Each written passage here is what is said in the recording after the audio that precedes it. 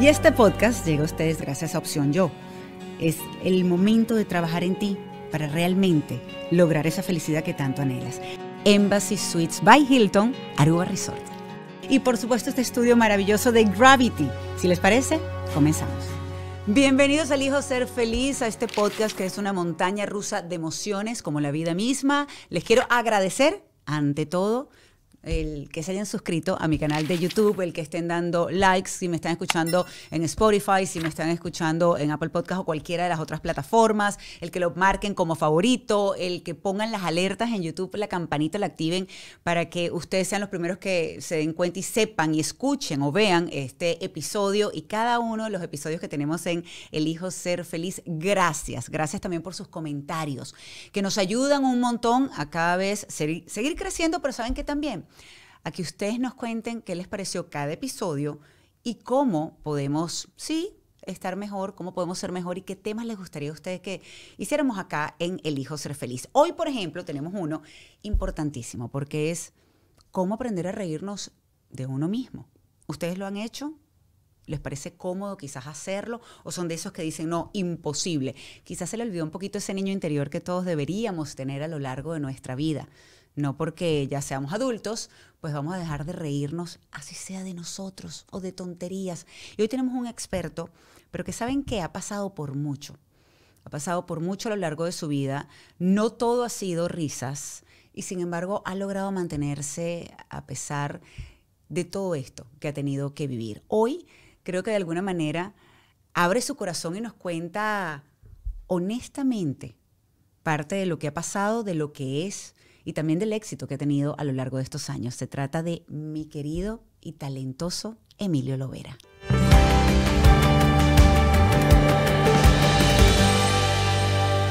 Emilio Lovera, vale, qué bueno tenerte acá. Bueno, y qué bueno estar aquí contigo. Y qué bueno que estás ahora entonces, ya no solamente eres humorista, sino que también te quieres meter a carpintero. Y yo siempre fui para carpintero. Yo creo que carpintié antes de... De, ser, humorista. ¿En serio? Porque yo tengo entendido que quería ser guardaparques. Creo que dijiste en algún momento. Ese es el origen, sí, guardaparque. Pero digamos que nunca quise ser carpintero profesional. Ok. O sea, me, me, gustaba hacer cosas para mí. Ok. De madera y aprender a hacerlas. Bueno, pero digo por lo del dedo y como te rompe... Ajá, metiste el dedo donde no debías.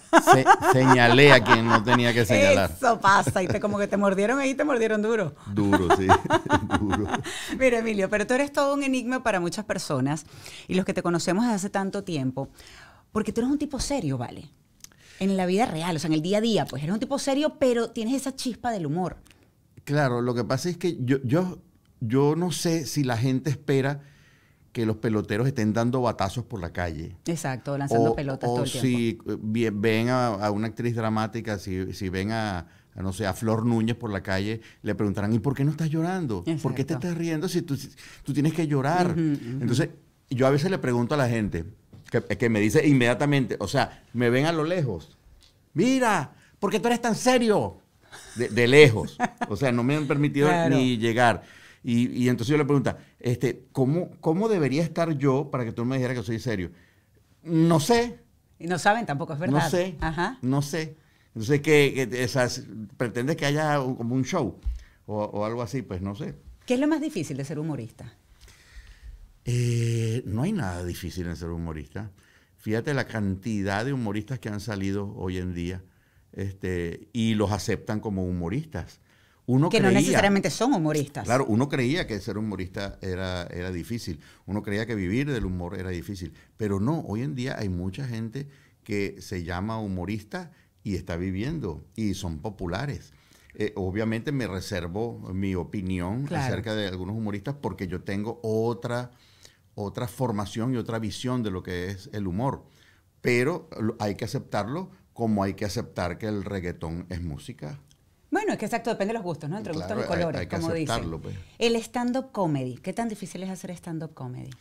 Mira, el, eh, según Carlos Sicilia, eh, no, no según él, según algo que él leyó, el mm, tercer miedo de la gente es a la muerte.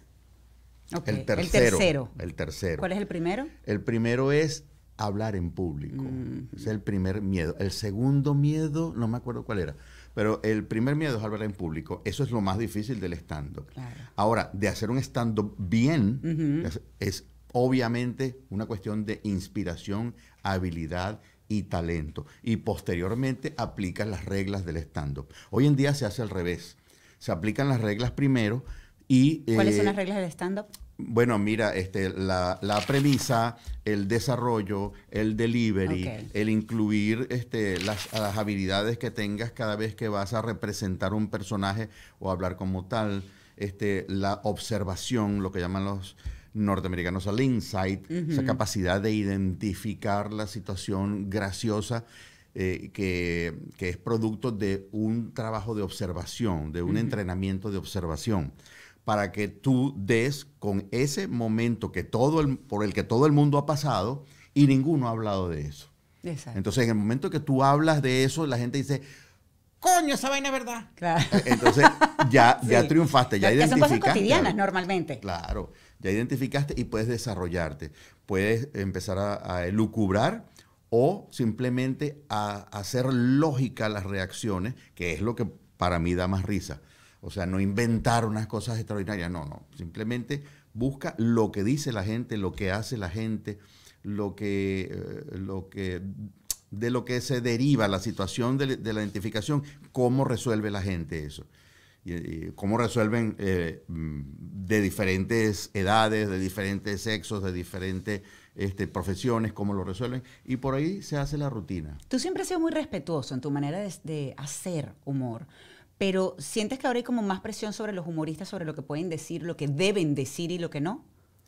Bueno, creo que para mí, para mí muy personalmente, hay una equivocación en cuanto a utilizar este, lo crudo o confundir lo crudo, lo, absolutamente vulgar, con, con, con, honestidad y con verdad. Ok. Entonces que la gente dice, bueno, este, yo voy a decir esta grosería, esta grosería y lo que la gente hace, porque eso es verdad.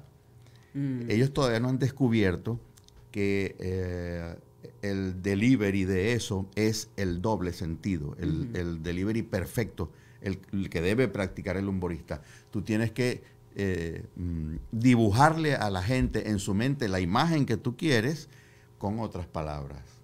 Claro. Entonces él se va a reír y se va a sentir inteligente. O sea, ya sé lo que me, ya sé de lo Pero ¿qué es eso? Porque es un humor inteligente lo que tú has hecho a lo largo de estos años.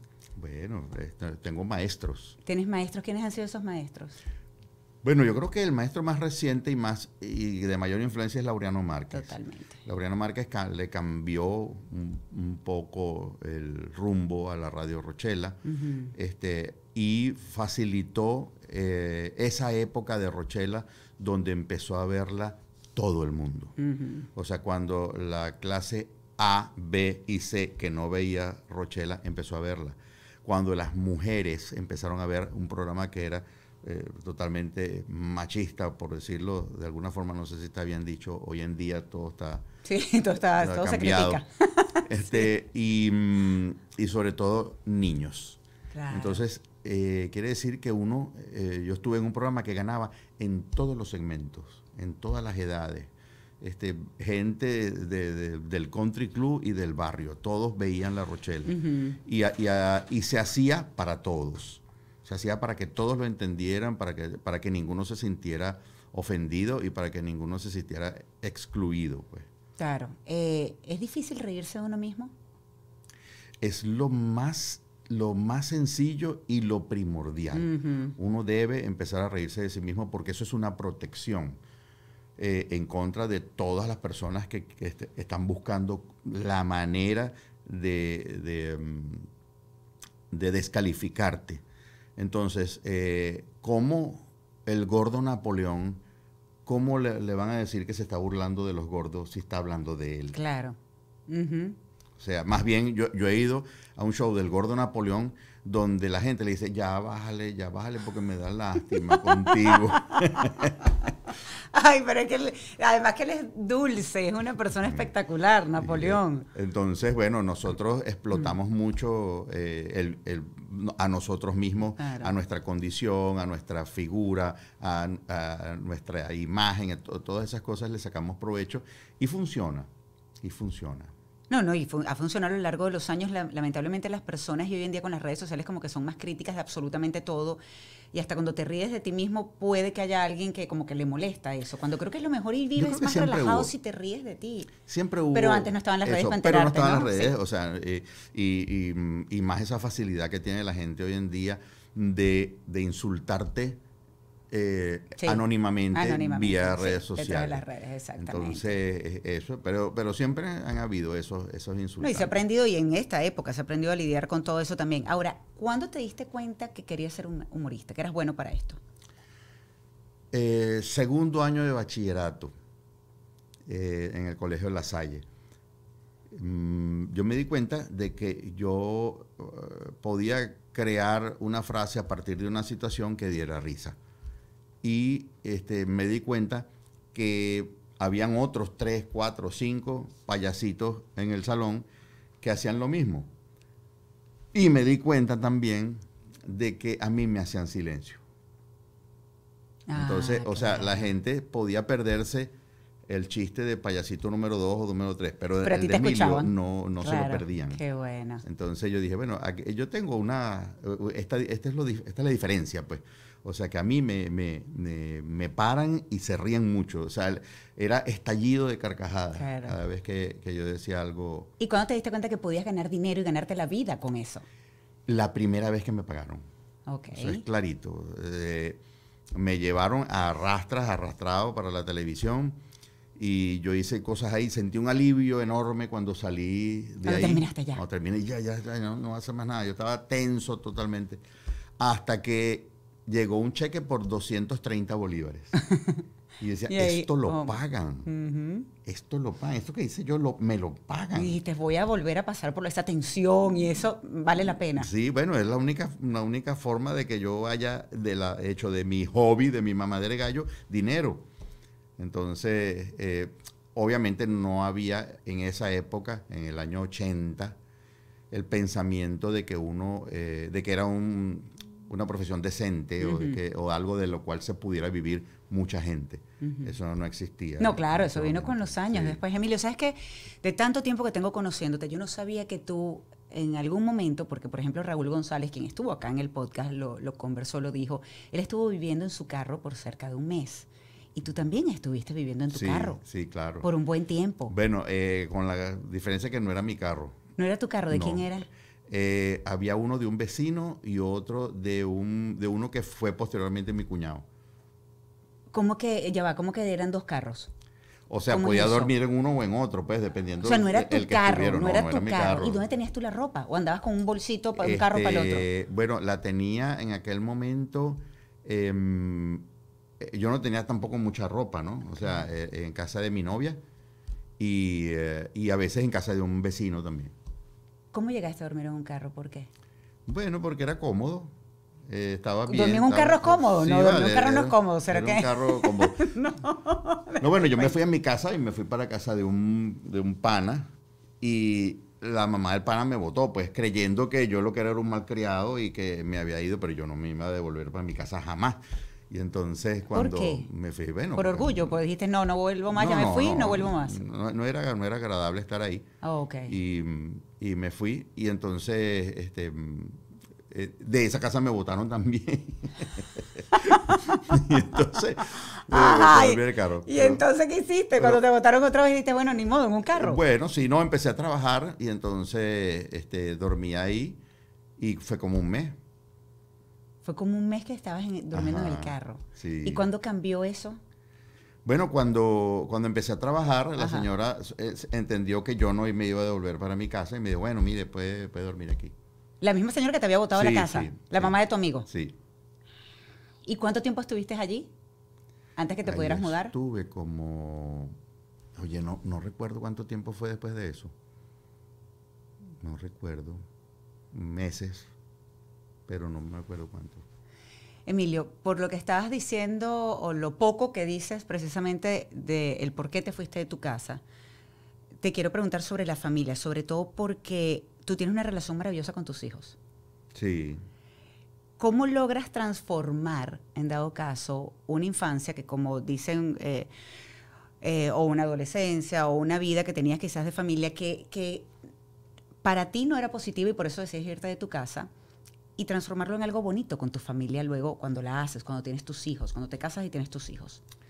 Bueno, mira, yo creo que eso, no sé en qué va, en alguna parte del carácter de la formación, pero la gente que vive en un hogar violento o aprende a rechazar la violencia o aprende a vivir con violencia.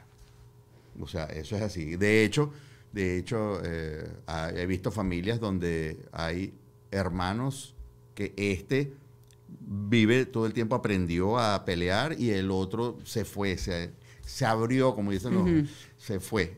está, o sea, por eso, porque muchos repiten patrones o muchos viven con esa herida, con el trauma y lo que llaman es la resiliencia, precisamente es la capacidad de poder superar ese trauma, aprender a vivir con esas heridas que, que tuvieron, pero ya sanas y puedes ser feliz.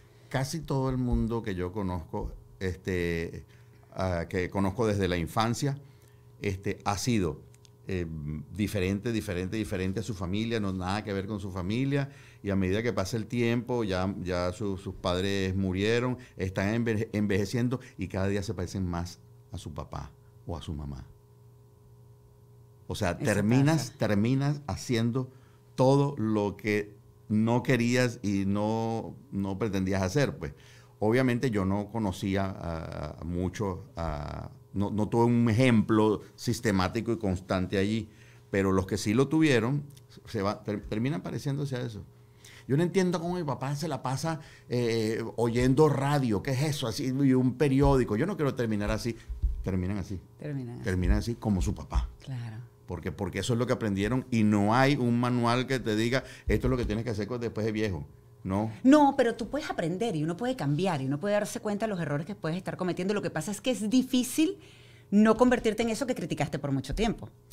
porque es una conducta aprendida. Claro, yo, yo hablo de las, de las conductas inocuas, de las conductas. No, claro, de lo que no, se debe, de lo que, no se debe. Eh, normales. Ahora, obviamente que si hay una, resistencia a tú imitar patrones violentos o patrones desagradables. Por eso, pero tú decidiste no hacerlo. Claro. Y por eso tienes una relación maravillosa con tus hijos. Sí, por supuesto, y ellos conmigo, bueno, ellos lo saben.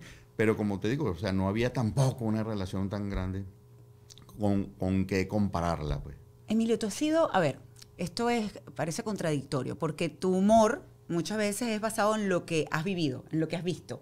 Eh, personajes que de repente hay alguien que conoces o que ves y dices, esto puede ser un personaje. Em, tus stand-up comedy muchas veces son de lo que tú ves, lo acabas de comentar también, de lo que pasa en el día a día, en la vida. Sin embargo, por ejemplo, has sido muy privado y fuiste muy privado con el tema de lo del cáncer. Yo de hecho me enteré fue pues hace nada también. Sí. ¿Te sientes más cómodo hablarlo ya después que superaste eso? Sí, claro, por supuesto, mucho más cómodo. Pero es que no había una incomodidad en, hablarlo. ¿Por qué no lo hiciste? Preferiste que no, Porque Hoy en día la gente está explotando en redes sociales hasta el cáncer. Mm. A mí no me parece. O sea, yo no creo que tú, que tu vida tenga que girar en torno a la consecución de seguidores. Claro. a los likes. Soy viejo, soy viejo, no nací eh, en, la época donde eh, esto es lo, máximo. O sea, este, yo veo a alguien que admiro y no me quiero tomar una foto con él. Quiero una figura de él en, en mis redes para ver qué sucede en las redes con eso. O sea, quiero utilizar a, mi entorno como un instrumento para hacer crecer mis redes. Esa pareciera ser la, premisa. Y yo, yo lo que dije fue, o sea, yo quiero que la gente vaya a mi show como siempre ha ido, porque quiere reírse, porque, eh, porque um, yo no me presento tarde, ni me presento borracho, ni, me presento drogado. O sea, siempre hago lo, el mejor show que puedo hacer ese día, se lo hago a la gente. Y yo quiero que vayan por eso. No quiero que vayan porque, pobrecito, tiene cáncer, hay que ir antes que se muera. Que te vean como la víctima, ¿verdad? Sí, sí. O sea, yo entiendo que fuiste víctima de una enfermedad terrible, gracias a un tiempo pasado fuiste y Dios mediante no volverá. Em, pero yo soy también de ese mismo tipo de persona. Digo, no me vean con lástima. No, no me gusta, yo creo que esa es la peor parte.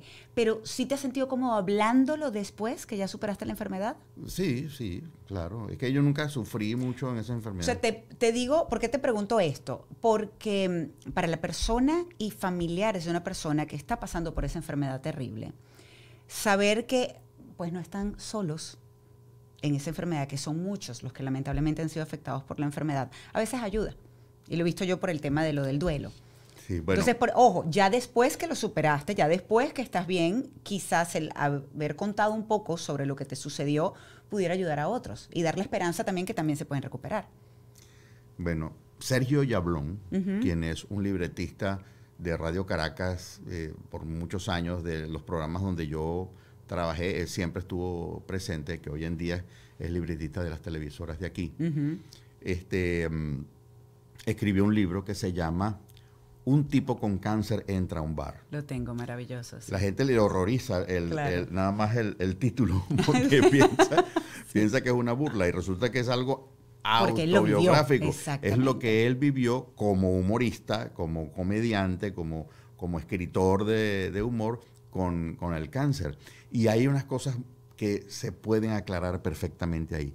Una de las cosas que más daño le hace al, al enfermo de cáncer es su propio entorno. ¿En serio? Ese entorno que empieza a meterse en internet y a averiguar todo.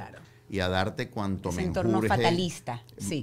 cuanto mejor y que te ve con aquella lástima, como, como ya te, te, pone un sello de muerto en, en, la frente. Este, ¿Tú llegaste a pensar que en algún momento te ibas a morir? No. No. No, en ningún momento pensé eso. Pero si hiciste como un, le llaman en inglés recap de tu vida, como pensar en lo que habías hecho a lo largo de tu vida y si estarías bien. Eso lo he hecho en otras ocasiones. No tiene que ver nada, que, nada que, ver con la enfermedad. No, no, con esto. O sea, yo, yo decir, bueno, este, ya tengo hijos, sembré el árbol, no he escrito el libro, no he hecho la película, este, pero he hecho muchas cosas. he hecho muchos amigos, este, em, me fue bien con los chamos, como tú sabes. Este, em, y, bueno, he, logrado cosas. Eso lo, he hecho. Pero uno hace esa revisión de su vida normalmente en momentos determinantes. A veces pueden ser difíciles y como que sentarte y decir, ok, mira, he podido hacer esto y esto y esto, como para, a veces es como para darte un, un ánimo, ese empujoncito que necesitas para seguir adelante. Pero fíjate que no necesariamente con, con alguna situación mía, sino con una situación de otro. O sea, mira, fulano se murió y, y, no, y no dejó arreglado este, la herencia para los hijos. Y entonces yo pienso, yo, yo, y si me muero yo, este, tengo que, a, quién, ¿a quién le va a quedar mis nueve pantalones, como dice la canción? yo le, lo hablaba con mi papá porque, pues bueno, eso es parte de la vida. La, parte no, lo único seguro en esta vida es que nos vamos a morir todos. Y yo, en una, pues conversando con mi papá el otro día, le decía a mi papá, no me dejes dinero, yo lo que necesito es que tú estés bien, que estés sano, que te recuperes, está, pasó por un tema de salud, pero no me dejes problemas. tampoco porque te voy a extrañar un montón y no me dejes problemas. Y cuando pasan ese tipo de cosas, cuando uno piensa, ok, tendré ordenado medianamente mis cosas, ¿qué le estoy dejando a mis hijos? Además del dolor que van a sentir, por supuesto, porque uno piensa que uno se va a morir antes que los hijos, por supuesto. En este caso, te ha hecho reflexionar la, la muerte de amigos. ¿Qué más te ha hecho reflexionar? Este, bueno, esas situaciones eh, de, desconocidos también que, que, pasan. Pero te digo que, ¿por qué el cáncer no? Porque lo primero que me dijo el médico fue, mira, que, mira el amiguete que tienes aquí. Ahí está, te está ocupando este, tanto por ciento de la luz del cono, del colon. Y entonces eh, eh, dije cono porque se llama cono. ¿El médico? el médico se llama cono, cono gumina. Es José Gregorio Hernández Moderno. En Venezuela. En Venezuela. te y entonces, bueno, eh, dice, pero mira, de esto no te vas a morir.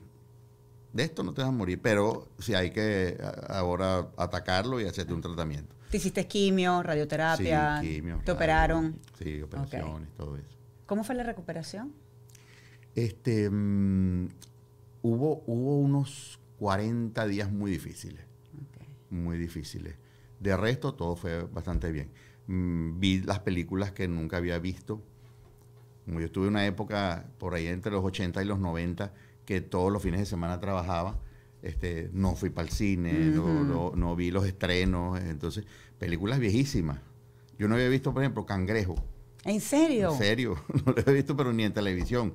Y entonces las vi. Que la pasaron 500 veces en televisión en aquel momento, me acuerdo, sí. No, no, no veía televisión. Y entonces, y me puse a ver, cosas, a ver videos de carpintería, por ejemplo, que me gustan videos de naturaleza, que me gusta películas. Ah, y, bueno, lo pasé descansando. Una manera de distraerse también. Sí. Hablabas de un libro y de una película. ¿Qué te gustaría? ¿Sobre qué te gustaría escribir y sobre qué te gustaría que fuese esa película? Bueno, mira, eh, las películas de los humoristas de antes eran, eran, eran sencillas, era cualquier historia cualquier historia que fuese graciosa, que fuese una, situación cómica, donde el humorista hace varios personajes. Esa, esa, me gustaría hacer una película así. Ah, donde que si... Este, Pero de los personajes que ya has hecho hasta ahora a lo largo de tu vida o no? Ah, sí, sí, definitivamente. que he hecho. Por ejemplo, que, un protagonista va a, la calle a, un, a, comprar algo en el abasto y por la calle hay un indigente, soy yo, okay, el perolito. es un momentico nada más que sale, pues. El tipo entra en el abasto y el, que atiende el abasto es el porto. Es el porto. Estaría buenísimo. Y entonces el porto está oyendo radio y el de, la, radio es el junior. ¿Me entiendes? Y entra alguien a comprar y es Chepina. Eso, eso me gustaría, me gustaría hacerlo. Yo, yo una vez hice, eso fue un sueño cumplido. Eh, mucha gente siempre dice, oye, si yo trabajara en televisión, si yo tuviera el poder para hacer algo en La Rochela, por ejemplo, yo haría un sketch donde saldría tal personaje, tal personaje, tal personaje, tal personaje, y todos ellos interactuarían ahí. Bueno, yo inventé una vez uno, eh, una situación que yo vi en televisión, después la combiné con otras cosas, de un programa de música llanera. Y entonces inventé un personaje que es una señora que se llama Rufina Guárate, que ella es, que es muy alegre, pero es absolutamente seria y feísima. con unos bailarines muy particulares, con unas bailarinas muy particulares, con un cantante que nunca cantó nada, con unos músicos que no tocaban nada. Y era muy gracioso grabarlo, pero eh, eh, fue, ese fue como el sueño. O sea, yo todo eso lo inventé y lo vi hecho. Eh, eh, yo me imagino que es como un guion de cine que, un, cineasta dice, yo, mira, yo todo lo que creé lo estoy viendo. Pero entonces en este caso, por ejemplo, para la película, sería escrita por ti.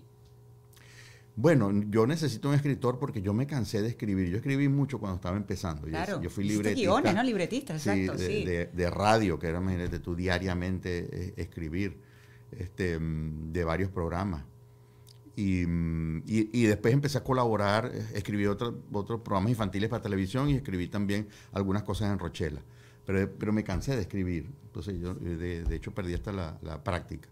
Mm. Y, pero sí me gustaría también que el guion tuviese eh, la, la riqueza de, de, tener escritores como Laureano, como Sergio, eh, como Emiliano, como gente que, que, son muy buenos escritores. Claro, para esa película. Y música, por ejemplo, te iba a preguntar también porque la música es parte de tu vida también, así como el humor.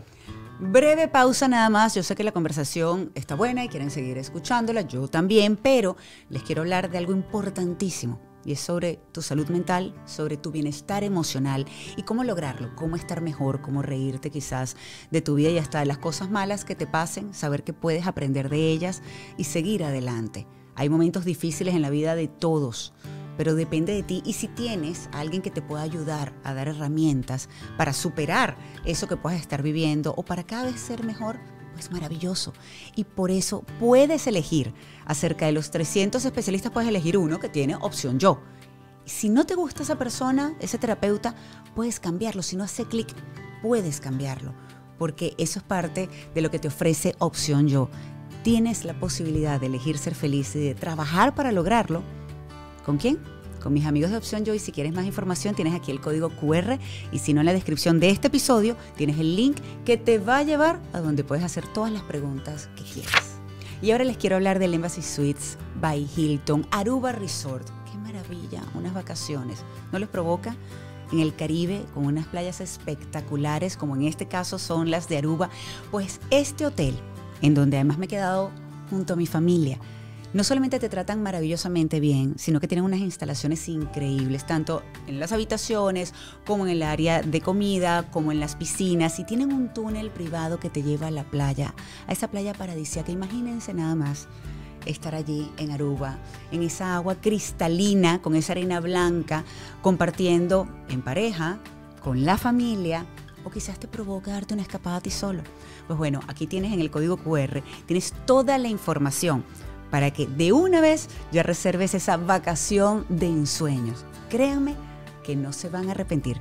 Ya nosotros hemos estado allí y es nuestro lugar de llegada cada vez que visitamos esa hermosa isla de Aruba en el Caribe. También recuerda que si me estás escuchando la descripción, la puedes tener la información, perdón, la puedes tener en la descripción de este episodio. Así que elige ser feliz, busca unas vacaciones en el Caribe y qué mejor lugar que el Embassy Suites by Hilton Aruba Resort. Y yo, a, mí, siempre me gustó eh, la música porque, mm, digamos, mm, de familia me viene eh, una vena musical. Mi familia por parte de mamá, todos eran, o casi todos eran, cantantes líricos. Este, eh, mi mamá murió muy rápido pero he oído testimonios de gente de la época y dice que era, o sea, diciendo en la época, pues, una soprano coloratura que llaman. Oh, imagínate. Y, bueno, mi, tía Yasmira fue una estrella eh, de las que no podía caminar en, Cracovia porque los autógrafos. La paraban y, todo, imagínate. Le, ponían alfombra roja y qué sé yo. Así que la música viene de familia, por parte de mamá. Sí, por parte ¿Y la facilidad de, hacer distintos acentos? Ya eso... No sé, no había ningún, ningún comediante en, mi familia que hiciera eso. Pero sí, yo, yo tuve esa facilidad de hacer acentos, de hacer voces. De, ¿Cuál es el más difícil? Bueno, siempre digo que el que más difícil es el que no he hecho. ¿Y cuál no has hecho? Este, bueno, no sé, no he hecho, que, que pues el Papa Francisco, nunca lo he hecho, ¿no? Este, hay, muchos personajes que yo nunca lo he hecho ni, y probablemente no los haga, no los necesite. Yo hice, ¿Ves alguno como un reto eh, que te gustaría hacer? No. No. No. No te quita el sueño. No, no. Es que también, digamos que la etapa del, del, imitador eh, es como una parte de la comedia, que es una herramienta adicional que puede tener el comediante para el objetivo de hacer reír. Este, igual como el, eh, los acentos, que es otra cosa. Claro. Este, siempre tiene que ver con el oído, pero es, otra cosa. Eh, la, imitación de voces y de, cantadas y voces habladas. Eh, la expresión corporal es muy útil para el, comediante. Hay comediantes que hacen reír solo moviendo el cuerpo. Es verdad. O sea, diciendo así camina fulano o así camina sutano y la gente sí lo identifica. Porque inmediatamente, claro. Le da mucha risa. Entonces, em, yo, yo creo que con el stand-up fue pasando un poquito el tiempo, con la moda del stand-up un poquito el tiempo de aquel comediante imitador. Sin embargo, yo sigo explotando en algunos shows las imitaciones. el, último fue uno que se llamaba Clásico, donde yo empezaba a hacer un recuento de 40 años de carrera por décadas. Y entonces recuerdo la década en, de las imitaciones. Ah, qué bueno. Donde, bueno, se imitaba a tal cual fulano mengano. Emilio, ¿cómo estás en el amor? bueno, tengo una novia de hace uh, nueve años prácticamente. ¿En serio? ¡Qué bueno! No la conozco. No, ¿Cuándo la conocemos? ¿De cuánto tiempo tienes tú aquí? Tengo bastante, 14 ya. Mm. Es verdad. Es verdad. Pero está en Venezuela. Está en Venezuela. ¿Nunca pensaste en irte de Venezuela? Eh, yo, una vez me preguntaron eso y yo dije, el que no haya pensado en irse de Venezuela, este, está mintiendo. O sea, todo el mundo pensó en algún momento cómo me vería yo, para dónde me iría yo.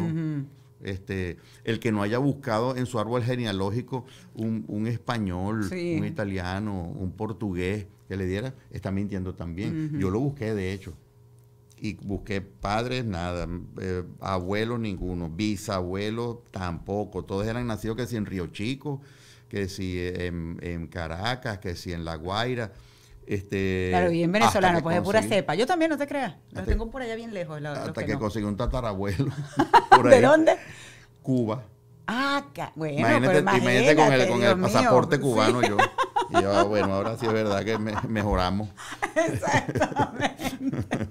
Se pone buena la cosa, pues nada más y nada menos de Cuba. Bueno, pero, pero ojo, tú tienes la posibilidad también por tu talento por tu talento de sacar una visa inicialmente de talento artístico y luego pues el camino dependiendo de a qué país te fueras, a la bueno, residencia. Sí, depende. Hay mucha gente que considera, eh, digamos, el humor algo tan local que le cuesta mucho conseguir el talento.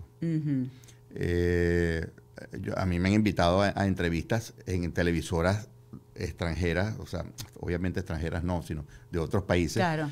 Y y eh, cuesta, cuesta, cuesta, mucho.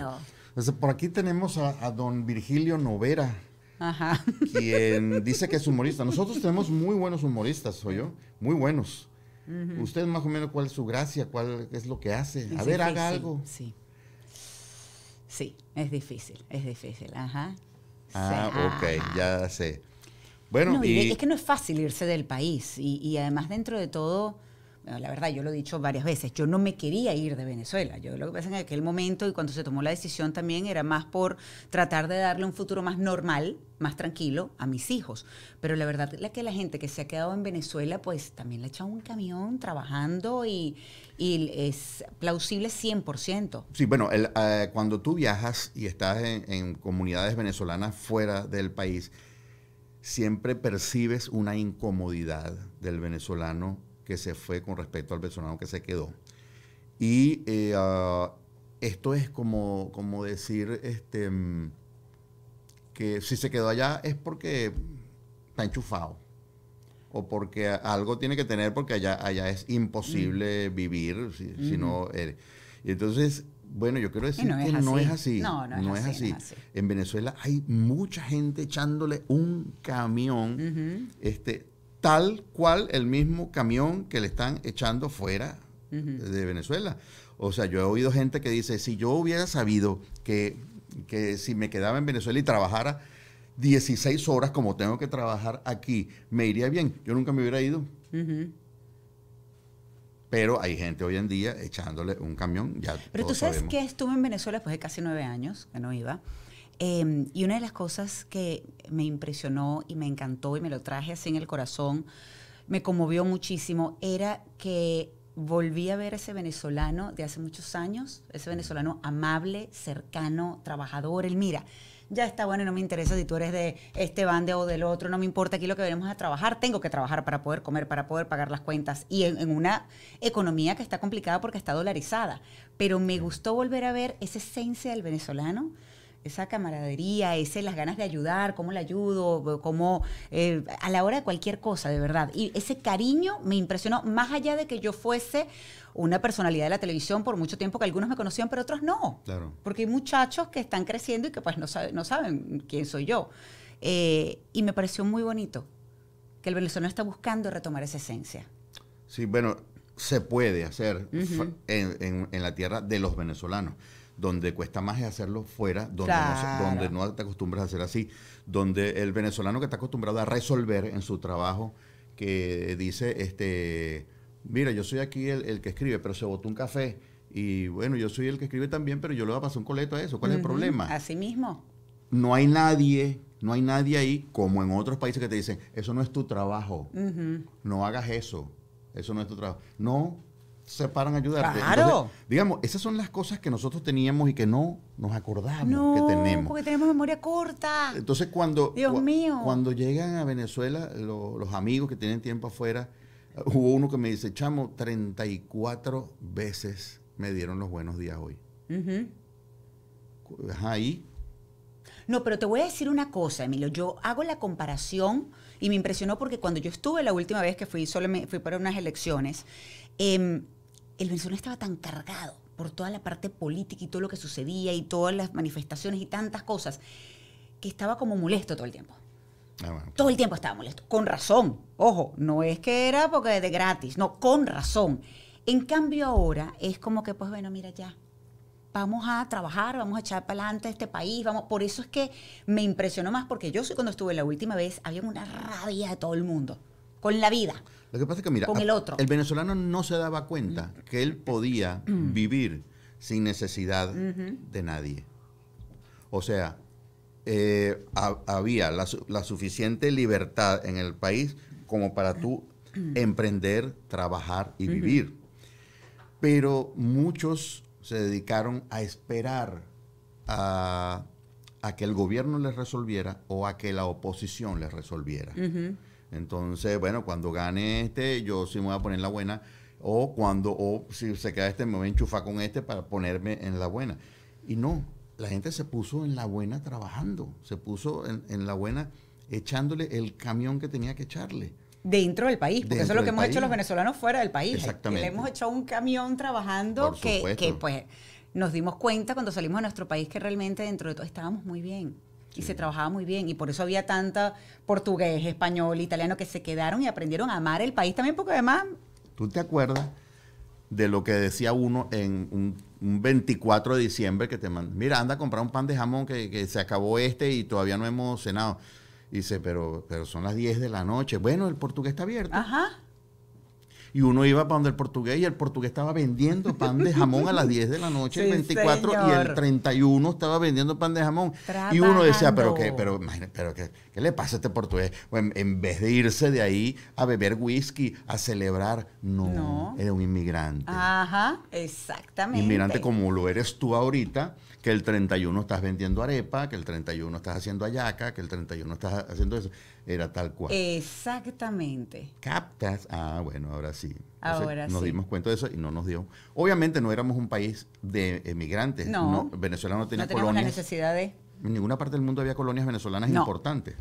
Pero fíjate que esa parte, yo ahora cuando me encuentro venezolanos eh, en el mundo, a veces me da como como cosa me digo, ay Dios mío, estamos regados por el mundo, pero al mismo tiempo veo todo lo que están haciendo estos venezolanos y cómo están enalteciendo nuestro gentilicio y cómo la arepa ahora la conocen hasta estrellas de Hollywood y en todas partes en Japón. Dios mío, hay un food truck de un venezolano que se casó con una japonesa y puso su food truck de arepas. Y así estamos por todas partes y eso eh, dentro de todo, por lo menos a mí me llena de orgullo. Yo digo, son venezolanos que están trabajando, que están echando pichón, le están echando pichón en cualquier ciudad, en cualquier país donde están, y tratando de dejar el nombre de nuestro país, pero sobre todo los venezolanos en alto. Porque también nos han hecho mucho daño algunos venezolanos. Claro. A la imagen, quiero decir, del venezolano. Hay de todo en la Hay de todo en la viña, del Señor. Mira, yo tengo aquí varias preguntas que te voy a hacer y usted conteste lo primero que, que se le ocurra. A ver, ¿cómo es Emilio? Chiquito. ok. ¿Eres muy crítico de ti? Yo creo que sí. Yo creo que sí. Yo, yo en una oportunidad quise ser eh, muy perfeccionista, mm. pero me di con la pared varias veces, ah, no, vale, normal. De hecho, lo que a uno le parece, eh, lo que lleva tanto trabajo de hacer y que uno llega y uno no está satisfecho, en el tiempo, con el tiempo, a la distancia, ves qué tan perfecto era y no te dabas cuenta por estar pendiente de la perfección. Buscándole a ver por dónde estaba fallando el error y resulta que no. Eso, eso pasa. ¿Qué te molesta?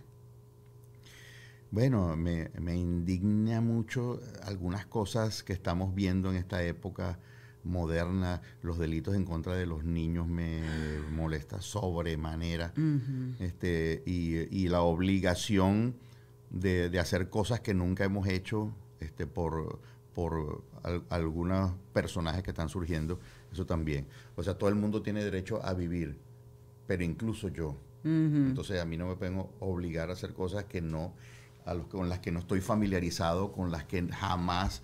Eh, con las que no estás a gusto, claro. Y, que no me, que me hace sentir incómodo. Permíteme salirme, hazlo a tú allá, pero no me obligues a meterme ahí. Claro. ¿Qué ha sido lo más difícil que te ha tocado vivir? Lo más difícil. Pues yo no veo las cosas, eh, las, dificultades no las veo como, como cosas difíciles y, de recordar dolores. O sea, son cosas que, han pasado, pues, y momentos incómodos, pero no, no yo creo que la, memoria me cuida mucho. O sea, me, me, Te protege de eso. Sí, ah, eso. ¿Qué te da miedo?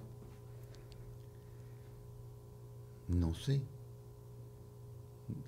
Eh, tengo vértigo. ¿Tienes vértigo? Sí, me da vértigo. ¿Pero de siempre, toda la vida? Sí, siempre, siempre he sentido vértigo. Asomarme a un edificio eh, alto me, da vértigo, me siento así como que un mareo el espacio. Y una sensación que me sube desde el talón por las pantorrillas, así una sensación como de vacío. Ajá. Este, Entonces no te acercas, por supuesto, al borde. ah, sí te acercas también. sí. Bueno, yo me descolgué por la torre de Parque Central. ¿Verdad? Con, con, Carlos Sicilia y me hizo una entrevista en el piso 52. Ay, qué loco. Y él y yo estaba ahí con la, mi cara así. enfrentando los miedos, está bien. Enfrentando el miedo. claro. pero no se quita, no se me quitó nunca. Siempre, siempre sentí siempre con todo y eso y con todas las cosas que he hecho. ¿Cuál ha sido tu mayor aprendizaje? Bueno, yo creo que los, los hijos míos me, me enseñaron muchas cosas entre, entre ellas el cariño que debe haber entre padre e hijo. Eso me lo mm. enseñaron ellos, no yo. Ah, ¿en serio? Claro. ¿Y con tus nietos? ¿Sí se lo das tú a ellos? Ahí estoy porque, digamos, soy un abuelo extraño, no soy un abuelo consentidor. Eso sí, es raro. ¿Y por qué? No, bueno, pero cuando está su abuelo se portan bien. ¡Qué bueno está eso! Tú vas a tener que juntar con mi papá. Para que le diga, porque el otro es más consentidor. El mío sí es verdad que es un abuelo consentidor, mi papá. Eh, ¿Qué es la amistad? Bueno, la amistad es probablemente el mejor invento de la humanidad. Este, los, la, la ¿cómo te digo? La facultad que uno tiene de hacer amigos es, uno de los regalos más grandes que, te puede dar la... ¿Cuidas a los amigos? ¿Cuidas la amistad? Este, lo suficiente. Yo creo que sí, lo suficiente. Lo que pasa es que eh, cada vez tengo más amigos. Mm, y entonces tengo amigos que, que ellos se sienten más amigos míos que yo de ellos. O sea, este ese es mi hermano de toda la vida. Y yo, ¿qué está diciendo este si, si, me, sí, lo si no he ido para su casa? Exacto. Mi muy nuevo mejor amigo. Eso pasa. Eso pasa. Hay gente que es así, es Pero tengo muchos amigos y conservo mis amigos antiguos del, del colegio, de la primaria. Ah, qué bueno. ¿Te arrepientes de algo? ¿De qué me puedo arrepentir? No, yo creo que todo, eh, yo creo que todo alrededor de mi vida ha surgido como impulsado por alguien que no fui yo. Por lo tanto, tengo a quien echarle la culpa, pero menos a mí. Ah, Carrizo. O sea, no puede ser. Pero ¿qué me pasó esto? Bueno, no fui yo. No. Yo estaba aquí por casualidad. Bart Simpson y tú. I didn't do it, no lo hice yo. Algo así. Así fuiste. Bueno, eh, eso pasa. Propósito de vida. ¿Cuál crees que sea tu propósito de vida? Bueno, mira, eh, en el podcast que yo tengo. Cuéntame la vaina, por cierto. Eh, cuéntame la vaina, que es un podcast de, anécdotas de la carrera, esos cuentos que echamos. Este, mm, me, he dado cuenta de lo que, de para qué soy y para qué existo. Mm, tuve de invitado al Puma una vez. Y entonces el Puma me dice, eh, yo no tengo anécdotas que contar, yo no tengo cosas graciosas que me llaman. Yo como que no, si una carrera tan larga, algo tienes que tener. Yo acepté la invitación para darte las gracias, porque cuando yo estuve enfermo, eh, yo me sentí muy solo cuando me iban a operar y alguien me dijo que viera videos graciosos y te encontré. Y empecé a reírme y empecé a, verte y siempre lo ponía y te quiero dar las gracias por eso. Es un propósito de vida. Wow, mira, Merisa, Merisa porque eso es muy bonito. Sí, y bueno, mucha gente que se ha, acercado ahora con eso. Mira, este, mi, mamá murió, mi papá murió, me separé, este, se, se me murió un familiar y qué sé yo, y bueno, mucha tristeza, pero cada vez que alguien eh, ponía un sketch tuyo, yo empezaba a reírme. Y el dolor se me pasaba por un rato. Claro. Eso es espectacular. Que te digan eso tiene que llenar el corazón porque es algo que te gusta hacer, pero que estás haciendo un bien tan grande a otros que están pasando por un mal momento. Qué bonito que ese sea tu propósito de vida, Emilio. ¿Qué te hace feliz? ¿Qué es la felicidad? A mí La, felicidad es un ataque de risa no se concibe felicidad sin risa. Yo de hecho tenía una rutina de eso, de, un tipo que se mudó de Venezuela y se fue para Canadá y decía, aquí estamos muy felices. Aquí estamos inmensamente felices. Nadie más feliz que yo aquí. yo con esta cara. O sea, uno no puede ser feliz. No puede, claro.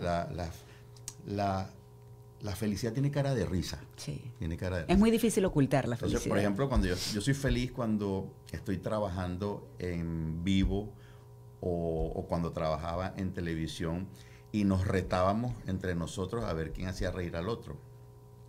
Entonces, por ejemplo, en Lauriamor y Midilio, el, el, show que hice con Laureano, yo siempre este, trataba de improvisar cosas en, en las partes donde interactuábamos, porque a Laureano le daban unos ataques de risa que no podía controlar. entonces, eso me daba un ataque, otro ataque de risa a mí. Y entonces empezamos a llorar de la risa el público a reírse de nosotros. De usted riéndose. Sabía, sabía que. Mira, tú sabes que es difícil de ocultar la risa franca. Claro, es verdad. O sea, la risa falsa es absolutamente eh, reconocible.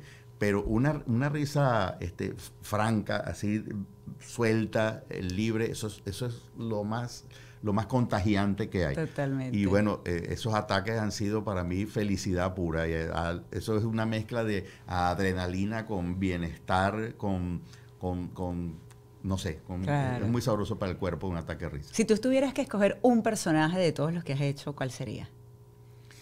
Este, bueno, depende. Depende para qué lo voy a escoger. Si lo voy a escoger para hacerlo, el macho que se respeta.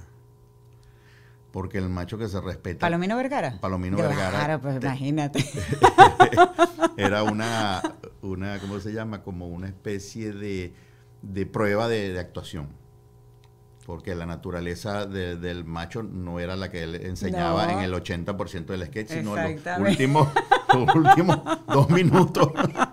Ahí se mostraba cómo él era. exactamente. Entonces, es una oportunidad de hacer una, lo que llaman los actores una transición. Claro. Hacer, hacer un desdoble, pues. No, pero maravilloso. Recuerdo ese personaje perfectamente. Y todavía, porque en los chats a un, gente y un poco de hombre le llaman Palomino Vergara. Sí. A un poco de hombres hoy en día. Bueno, a mí me, a mí me invitó para el programa de él y de, y de Carinés Moncada, Agustín. Ajá. Agustín Acosta. Acosta, sí. Agustín eh, Entonces, Agustín tiene una eh, Felamare, se llama la Federación de los Machos y qué sé yo, aquí, y que... Ah, yo no sabía. Y, él me recibe a mí como su jefe supremo, de allá de, de Asomacho, de Asomacho. Y entonces cuando me invita, pues él tiene su, su capítulo eh, de Miami aquí, y entonces le manda... Oye, Agustín es un periodista muy reconocido, un cubano muy serio, además, y entonces imagínate. Pero lo disfruta un mundo desde que él descubrió el macho que se respeta, bueno... muchos, muchos definitivamente. Emilio, ¿dónde te ves en 10 años? Eh, bueno, me, gustaría seguir trabajando porque esta es una de las eh, profesiones que, donde uno puede durar más haciendo cosas.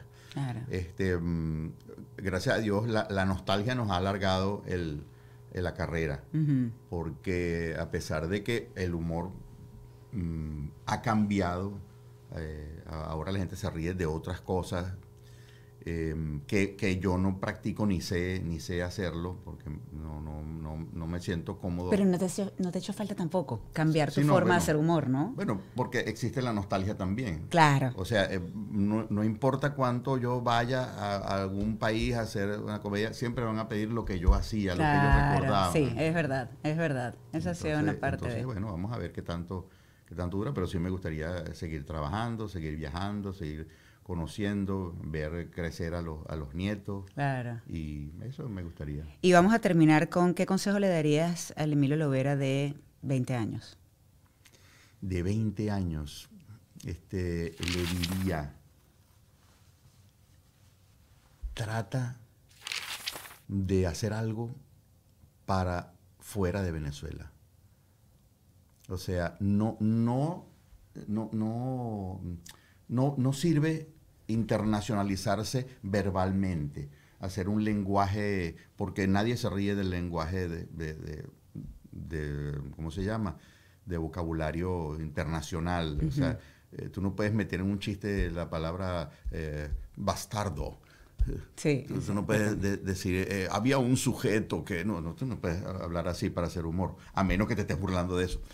Pero, pero sí que tratara de que el mundo viera tu humor, porque así, así sucedió con los internacionales. Por ejemplo, eh, Álvarez Guedes nunca cambió su cubanismo. Este, el, el, más, más lunfardo no puede ser. O sea, de, todas partes. Entonces, el venezolano ahora es que lo están conociendo porque eh, los, los, eh, españoles están rodeados ahora de venezolanos. De oyen cómo hablan y, les, y saben qué gracioso pueden ser. y los italianos y, y, así. Eso me hubiera gustado explotarlo desde antes. Claro, sí, ya después de, de, cierto tiempo, pero es verdad, y es importante también reflexionar sobre eso, quizás para darle herramientas también a los hijos, que maravilloso y me encantó de verdad eh, conocer al menos uno de ellos, y digo conocer porque es de grande, porque han pasado los años y porque es impresionante, son unos hombres que yo me imagino que te deben llenar mucho de orgullo también. Sí, me, me gusta que sean muy buenos en lo, en lo que hacen. Eh, bueno, esos reconocimientos que te dice la gente una vez este, bueno, de ambos me han, me han dicho, oye, trabajé con tu hijo. Qué tipazo este hijo. Qué bueno. Eh, y el tipo sabe, sabe mucho, o sea, dónde estudió, qué es lo que ha hecho. Bueno, tiene, de hecho, no huele, pero el tipo es bueno, bueno, bueno en, lo suyo. Entonces, Qué bonito, ¿no? Le llena de, orgullo eso. Emilio, mil gracias. No, gracias. gracias, gracias, gracias. De verdad, déjame darte un abrazo. Yo trabajé con este señor, aunque no lo crean, él ha sido humorista toda su vida. Yo no sé qué hacía en ese programa. si no va a ser lo mismo que estoy haciendo acá, reírme. No le hacía preguntas, pero sí me reía.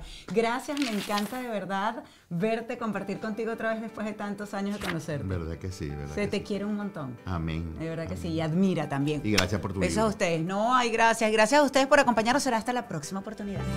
Este espacio llegó a ustedes gracias a mis aliados de Gravity, Embassy Suites by Hilton, Aruba Resort.